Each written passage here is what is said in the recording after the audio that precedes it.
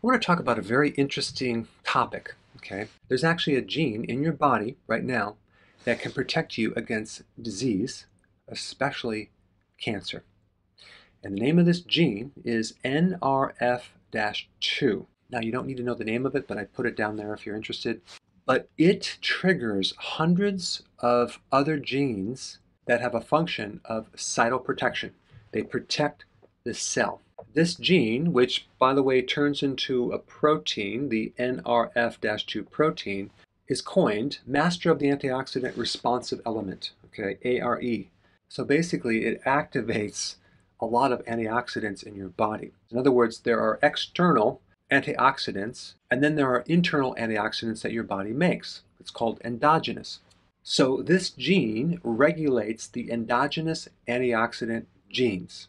It also helps regulate the detoxification genes as well as the genes that control inflammation. So many different health conditions um, occur because there is some type of mitochondrial dysfunction. You have this oxidative stress, whether it's from a carcinogen, uh, smoke, UV radiation, radiation, chemicals in the environment, lack of nutrients, stress, etc., etc. All this creates oxidation to the inside of your body, including free radical damage to the DNA, which then can create cancer. So if there's any mitochondrial dysfunction, this NRF2 machinery kicks in.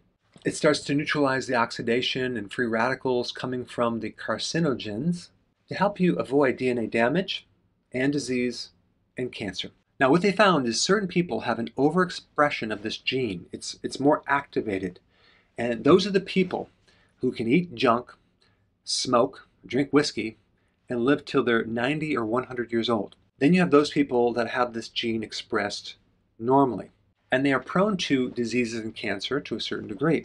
And then you have other people who have an underexpression of this gene, and they're very prone to getting cancer. Now, I know your next question is going to be, well, what if I'm in that category? What can I do, right? Well, the good news is this. You have genes, which you're not defined as, and you have epigenetics, which actually is above genetics. So in other words, epigenetics controls your genes. So even though your genes are telling the body to do a certain thing, if the epigenetic factors are, are active, that can overcome that expression of that gene.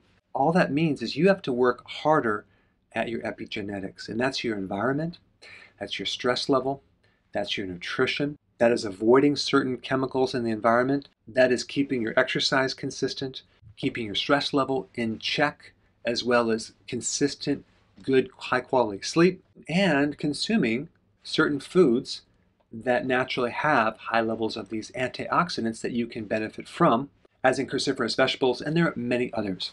Now, I just started studying this topic. I think it's fascinating. I'm, I'm deep into it right now. I'll, I'll be creating some additional videos I'm very interested to find out if and where someone can get tested on this gene. I would like to know that. But until you get tested, if you want something to do, start focusing on your epigenetics. If you want more data on that, I put the link down below. Check it out. So someone uh, made a comment on one of my YouTube videos recently, and they said, my grandfather ate bread, sugar, and drank alcohol, whiskey his entire life, he even smoked, and he lived to be over 90 years old. So how do you explain that, Dr. Berg? I thought that if we consume these foods, we're supposed to die early. Well, here's the thing. Everyone comes into this world with a different package, different genes, different uh, family histories. So if you had several generations before you that really took care of their bodies, they ate healthy, um, consumed food from fertile land, you're going to probably end up with some pretty robust genes because there wasn't a lot of things to weaken those genetics. So you probably could then be the person who gets away with it. Uh, there are certain countries that have perfect bone structure and teeth, like in Africa. They live off food that is grown on volcanic soil. So you get all these amazing trace minerals that build really healthy bone structure then you have other countries that produce different types of foods that you end up with a lot of teeth decay. Like in the UK, there's a tremendous amount of sugar, refined foods, and, and dental issues. Same thing with the US. So depending on your genetics, your family history, the foods, the country that you live in, it can make a huge difference of where you are on the spectrum. But the great majority of people, unfortunately, develop metabolic diseases earlier and earlier. But there's usually a point in someone's life, a time that things start to break down. For me, it was 28 years old. You see, before that, I could eat bread and I ate a ton of bread, ton of sugar, and I definitely drank alcohol. And I had absolutely no symptoms whatsoever. I felt great, so I can get away with it. And that's why I had no attention on it. I didn't want to change because I felt fine. At that point in my life, you couldn't educate me about keto or cutting off carbs because I didn't, I wasn't fat. I felt great. I had no problems until 28 years old. And then I started to really start to go downhill. And that's when I started to make some changes. So there are several factors that would determine if this is 28 years old or earlier or a lot later. That would be your genetics, how robust your genes are from your family tree. Then you have epigenetics, the environment, what happens in the environment, your eating habits, your stress level, pollution. There are a lot of factors that are epigenetic factors, which are basically even above the, the genetics. What happened with me when I was 28 is I went through tremendous stress right before that, going through school and, and starting out in practice. And I know that did not help, compounded by the fact that I was eating completely refined, empty calories without any type of vegetables whatsoever or anything nutrient dense. And then you have your health reserve. How much reserve do you have? And then your attitude, which is another factor which is very, very, very important, probably should be at the top of the list. You have some people that are so positive, they're so up that they never get sick. So this is a really important factor as well. All right, there you have it. That's my response to this question. I recently did a video on a very amazing gene, the NRF2, which is like a gene that protects you against disease and especially cancer. And I found some additional interesting data on this that I want to share with you. But if you haven't seen the first video, watch that first. I'm going to put a link down below of exactly what it does. But this gene is like the, um, the master gene that activates hundreds of other genes that protect your cells. And these other genes are related to antioxidants because your body has networks of antioxidants. So antioxidants don't just come from external sources from your food, your body makes them. So they come from within.